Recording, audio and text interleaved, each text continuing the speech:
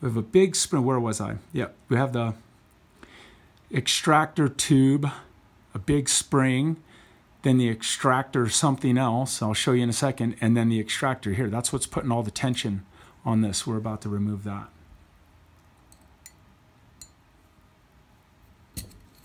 There we go. Whoops, hit the camera again. Those are two different pieces. Feel free to do whatever, take them apart, clean them, whatever, but I'm going to leave these together now because this gun's clean, never been shot, beyond test firing. Okay. Now, a lot of times this won't come out. This will say stuck in there. So if you send this gun to someone to get it Cerakoted, if they're good, they're going to look at your manual also and know what's supposed to come out of the gun and what's supposed to go back in it.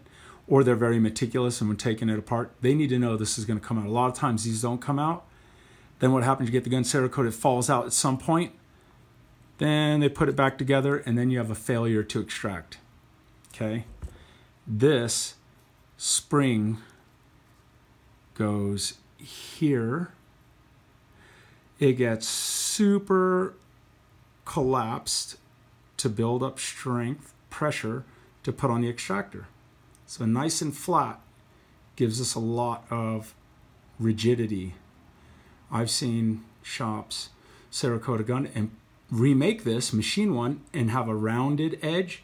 That rounded edge doesn't put the right amount of pressure on here. It allows the extractor to go too easily, failure to eject. Very important. If you lose this, make it to look just like this one. Okay, it's in your manual. Or see if you can get a new one. All right, what else came out? I just noticed this. Maybe some of you did too, but I'll mention it now. This was the firing pin bounce spring. That spring goes on the end of the firing pin. So when we put it back together, we'll make sure that goes on there. Firing pin bounce spring. All right. Now for the fun part. We're going to take apart. So when the gun, this is like the drop safety. If the trigger's not pressed, this is going to be in the way, keeping the striker from going off. When it's moved to the side, over there, now the striker can be released and get past this channel and, you know, ignite the round. So if the trigger is not pressed, this is going to be in this way. Once the trigger is pressed, it's not only letting the sear go, it's moving this to the side. Okay? We're going to take that apart. All I'm going to do is take that half millimeter Allen key and I'm going to put it underneath and pry it straight up. Show you what it looks like. And this was a real pain in the butt to put back together in the Strike One because the design of this little spring in here was a little bit different, but this one's a big improvement. There are a lot of improvements on this particular gun over the Strike One. And then there's a lot of improvements with the Type R upgrade over a stock gun, as you can imagine, of course. All right, so let's take all these pieces apart here. You have this piece, and you have this piece. And they just intersect together like that. They'll look just like this, like a little puzzle. Then you take the spring. I want to get this good so you guys can see very, very well. And now with this part of the first spring, see the end of it facing this way, and the long side, so there's a short side and there's a long side. The long side running parallel against here, that's how you put it together and then you turn it till that end hooks on there. There you go. And now putting it back together, you just push this down. Let's see. So this is totally broken down. Now this is how you'd Cerakote it. I mean, if you had the sights off, obviously, this is how you'd Cerakote it. This is how you'd, you know, deep clean it. Whatever you wanted to do with it, or just practice. It's good to know how your gun operates. Big believer in that. All right, I'm to put this back in here.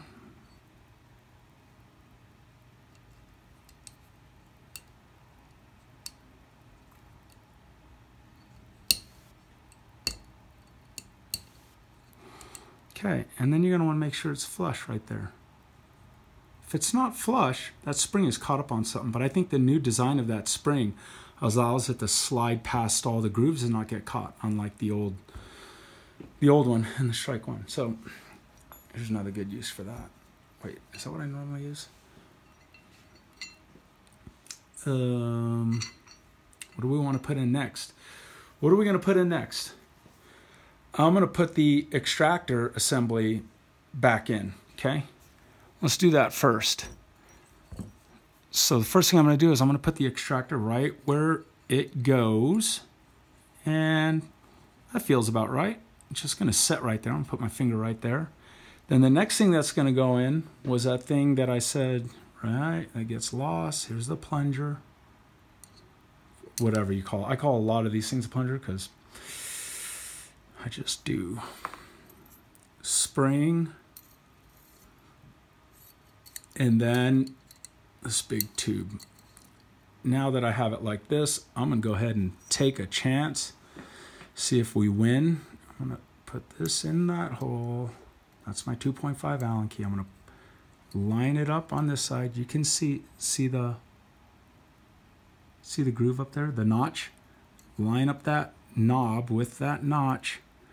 Push it straight down. Yeah, it takes a lot of torque. It's about 30 pounds of pressure. And then I set it back in that hole right there, in that ledge. So it's sunken in there. Okay. Extractor should be super stiff. Super stiff. You're not going to move that unless you're the Hulk. Then moving along. That right there. Guess not. Does this stand up if it's just on a flat surface? No. It's that RMSC is making it want to go forward. And a few other things. So we're going to put in the firing pin bounce spring now. Firing pin bounce spring. Drop it in this first hole right there.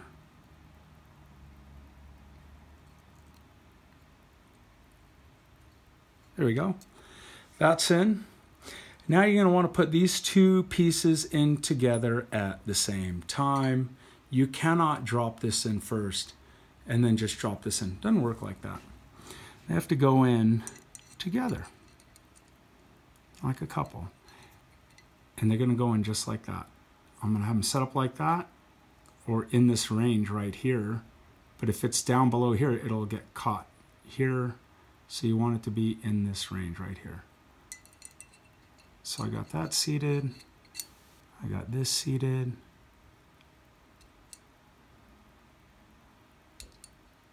And then they'll both drop together when everything is. Do I have it lined up correctly? I don't know.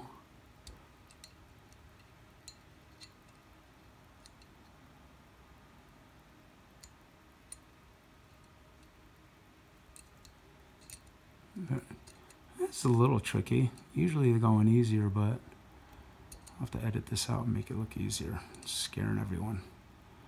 Take this thing apart. Well, it's just because I have this firing pin crooked a little bit. There we go.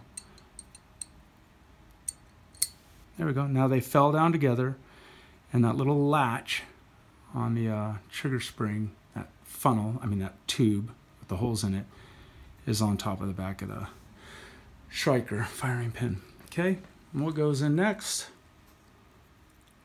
Striker spring. What goes in next? That piece. What goes next? This piece. So I'm going to put this in a little ways. Then I'm going to go ahead and just push this down Okay, I'm gonna hold that just like that and pick up the back plate that I just dropped. And you can use a punch or whatever. I use my thumbnail in this instance. Okay, press it down back plate over, one final step. Get that Allen key. We're to put it back in here and we're going to turn it clockwise.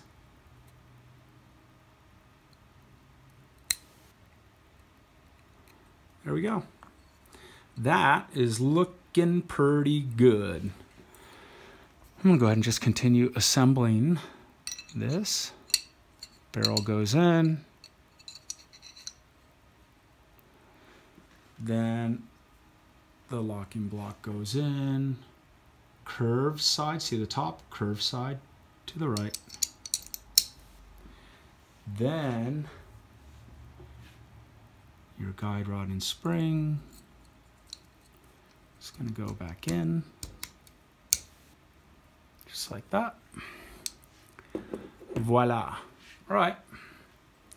Let's put this back together now. Trigger, trigger. Set that back in there like that. Now I'm going to set it just like this with the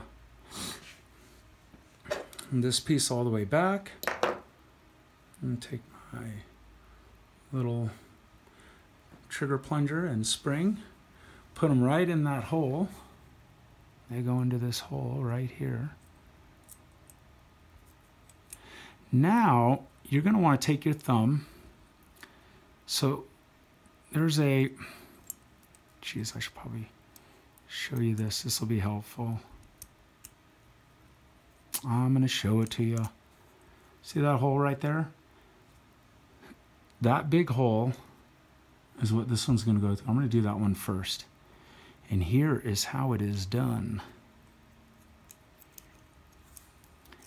Lift the trigger up with your finger.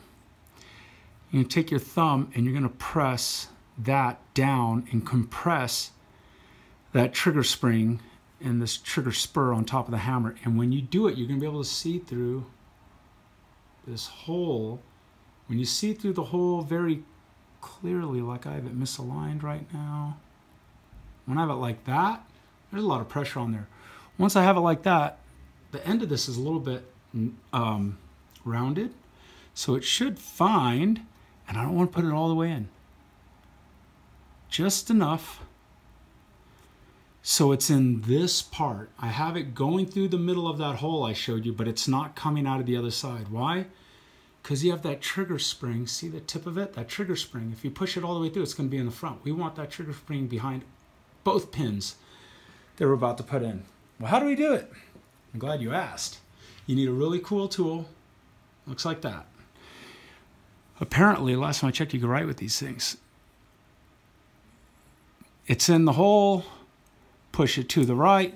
Oops, lost it. It's in the hole, push it to the right, push the pin all the way back in. Now the pin, pin is behind that bar. That, the spring is behind that bar. Now you take your other pin, the one with just a solid bar. Okay, it's the last one left with a solid bar. Now I'm going to put it in this one. It's not going to go through, because it's hitting that trigger plunger. I'm going to press forward on the trigger. I'm going to press the trigger. Watch what happens. It's going to move forward. All right, I'm going to leave that one there now. And I'm going to grab it again. Push forward. Hey, if you have your own technique, something that's better, please comment, make a video. I mean, tell me if I'm doing something hard way because I don't like to do stuff the hard way. But I've done this a couple hundred times in the last month and a half, so I feel like I'm pretty decent at it. But of course, if you have your own way, share it, share it with the public. Let us know. Let us save time, save parts. Okay, here's what's going to happen now. Here's the sear spring and that deal going back in the hole. There we go. I'm going to get the sear ready now. And I'm going to set it in the hole right there off to the side. That's as far as it's going to go in because obviously it has pieces to it. So what I'm going to do now that I have it set up take that handy punch we talk we've been using throughout the whole deal. Once you commit to pushing this in, you better just be set up and just see it all the way through. Once you push it in, don't let it go. Because if you change your mind or this thing falls out and you pull this back out, whew, it's going to fly out. Mm-hmm, let's make sure I don't do it. All right, so I'm committed. Pushed it all the way down.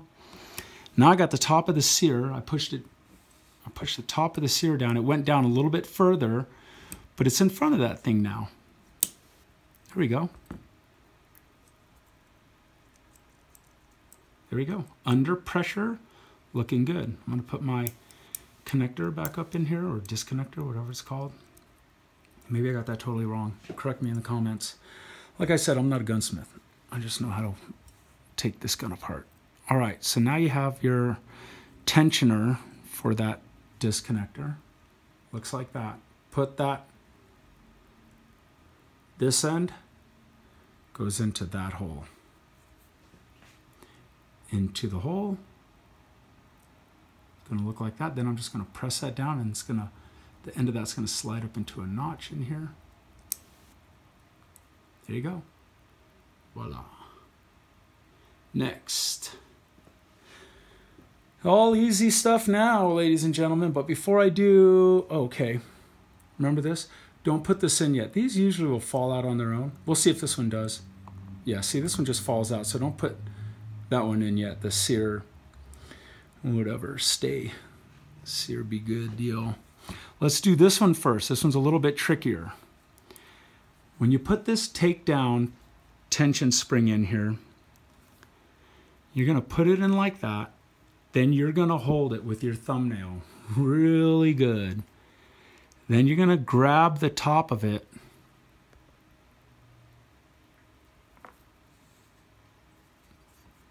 Grab the top and pull it up and set it.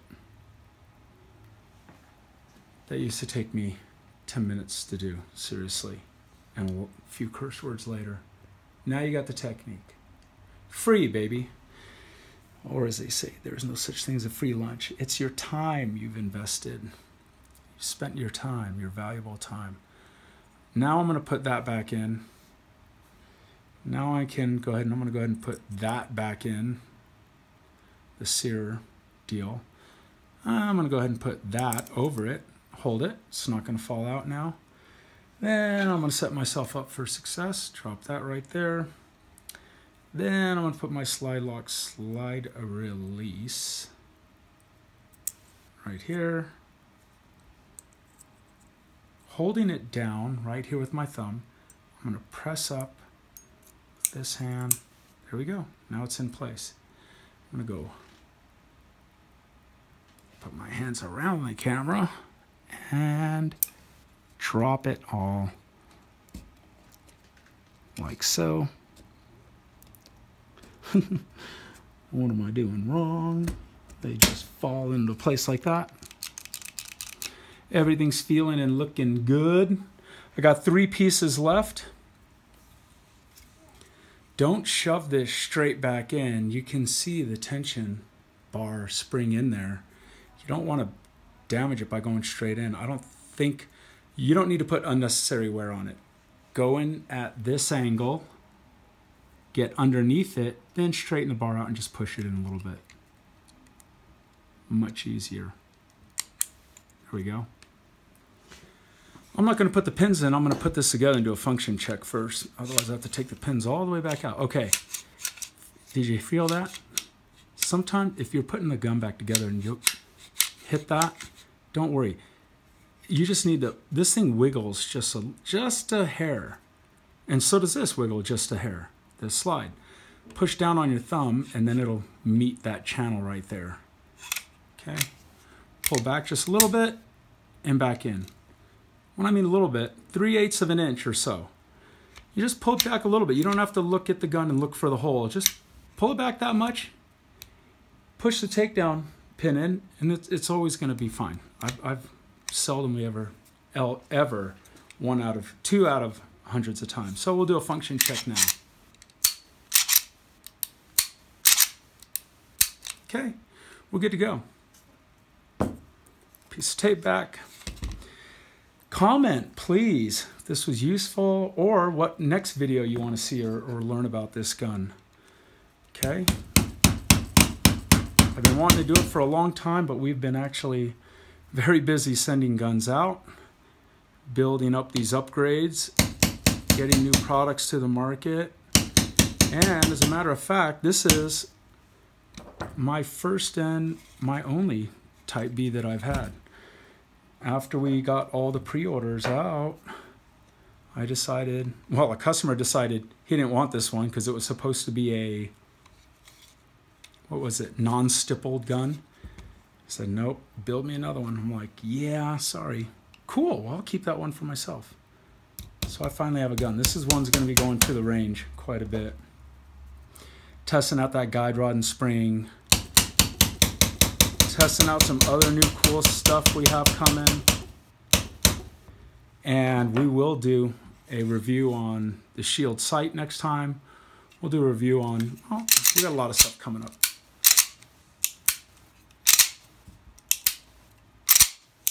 All right. Looking good. That's it. Comment or email if you have questions. Sales at Rain 6. Hope you guys liked the video. Hopefully it wasn't too long, but we want to be thorough and want to show you how we do things, you know, I think efficiently with it and safely, but most of all point out, you know, what, what can happen, you know, in a bad situation or what to look out for when you're taking apart, putting it back together. Kind of helpful. We kind of mapped out the pitfalls for you guys here. All right. Appreciate you guys. Take care. God bless.